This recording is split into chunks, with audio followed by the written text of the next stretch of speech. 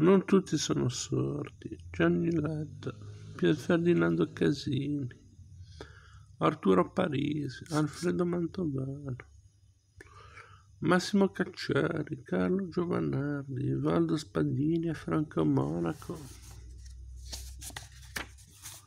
Sono tra quelli che hanno mostrato di comprendere passaggi de- delicati e in silenzio senza clamore, senza farne un uso politico.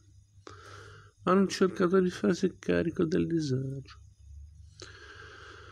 Una buona giornata fu quando nel luglio del 2004, finalmente in tempi brevissimi, dopo anni d'età, approvò all'unanimità in commissione la legge con le nuove norme in favore delle vittime del terrorismo e delle stragi.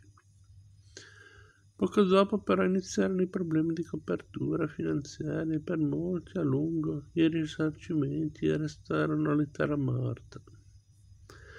Sono passati tre anni e alla legge non è stata data ancora completa attuazione. Lo sfinimento ha portato alcuni a compiere il passo che mai avrebbero voluto muovere, fare causa allo Stato. Questa sensazione di disinteresse ed abbandono è la causa che coltiva il malessere. Poi il caso, la disattenzione, una mancanza evidente di sensibilità politica, storica e culturale producono una serie eccezionale come quella inanellata nei primi sei mesi di governo dell'Ulivo.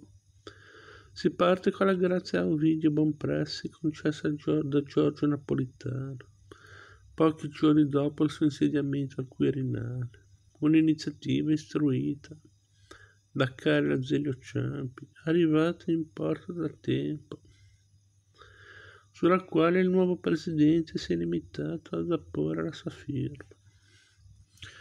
Nessuno ci dice nulla, sono in motorino in via Tom- Tomacelli, di fronte alla sede